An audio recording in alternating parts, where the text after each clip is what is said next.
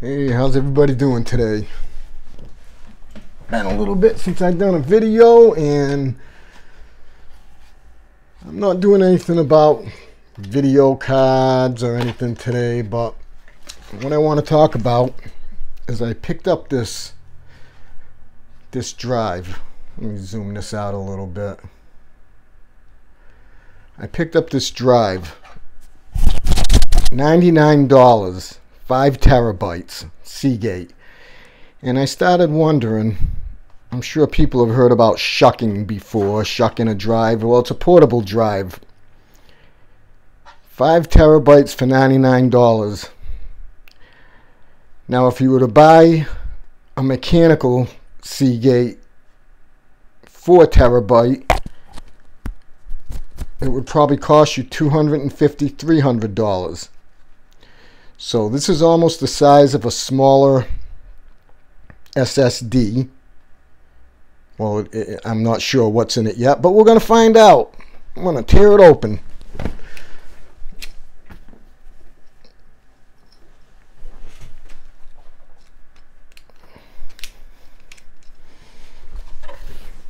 I hope this is easy to get open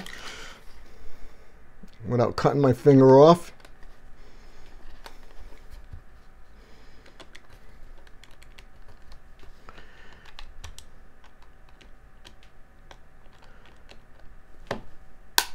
Oh, here we go.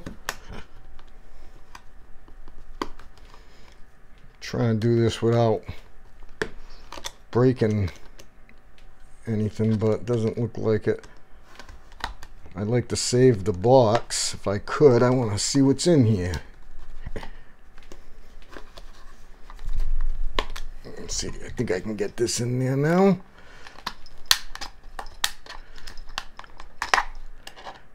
I don't think this case is going to be able to be saved. So I don't know if it's a lit, lit if it's a mechanical. It didn't say on the packaging if there's a mechanical in here.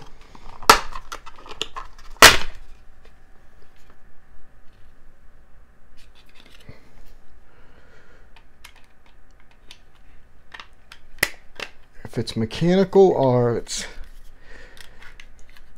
the SSD style. Way, oh, whoa, baby. Okay. It may be a mechanical drive. I can tell you what, it's a little bit thicker. It's probably a quarter inch thicker than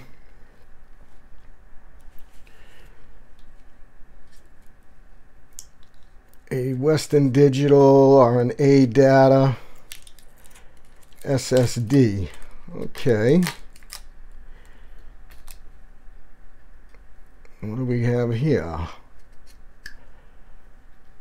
that's all it is. Not even a wire going to it. It's a little PCB with a power for SATA and the SATA connector. It goes right on in here. Got the little holes on there for screwing it in. Even comes with the screws. I'll be.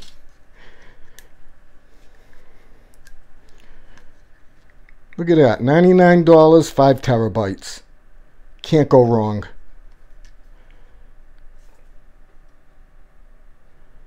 I'm sure Seagate's going to love me for doing this. I mean, it's not going to fit inside of a laptop, that's for sure. It's too thick. Like I said, it's probably quarter of an inch thicker than a regular SSD drive. Do I have one? Actually, I do. Okay, laptop SSD. It's about one and a half times So you're probably, yeah, it's not twice as thick, but a little bit, a little bit thicker, thicker, thicker. I'm pretty psyched. Five terabytes for 99 bucks. Got it on sale at a egg place. Don't want to say the whole name. As you can see, it's identical. Pretty much. The holes line up exactly.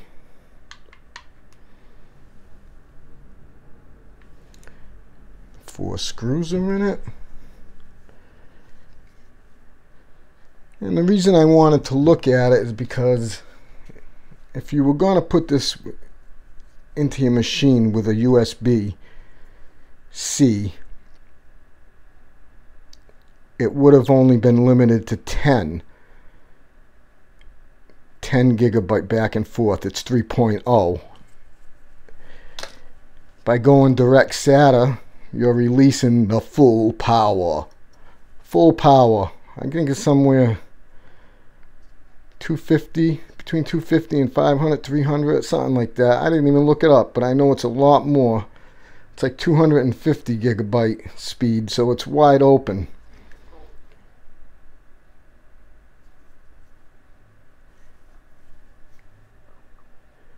I would have to say it's definitely it's definitely mechanical, but still. I just put a two terabyte for extra storage that I haven't even used yet in my system. A Seagate two terabyte, and I paid $55 for it. I looked up a four terabyte was like 350. I'm actually hanging there.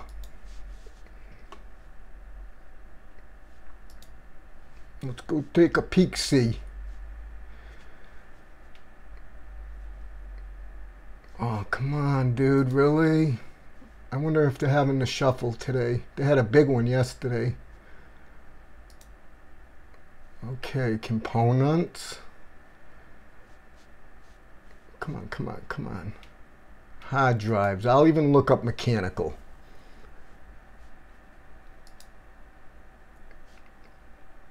And we'll bring it right up to 4 terabytes or higher mechanical.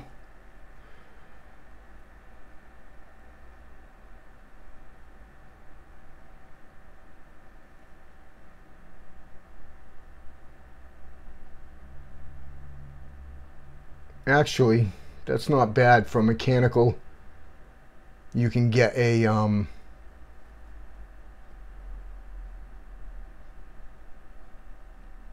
a six terabyte for a black Western Digital black or a Seagate. Seagate's $200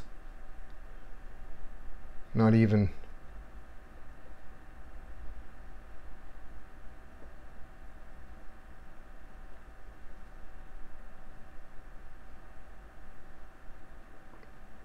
They are definitely dropping in prices. So anyways, for like 150 you can get a 4. This is $99 for 5. Oops, wrong one. A little bit thicker, but still it saves you a lot more room than going with the big 3.5. So,